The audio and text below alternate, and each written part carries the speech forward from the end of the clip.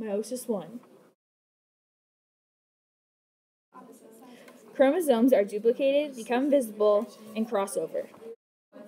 Pairs of homologous chromosomes line up at the center of the cell. Homologous chromosomes separate and move to opposite ends of the cell. Cell splits into two haploid cells. Meiosis 2. Chromosomes condense.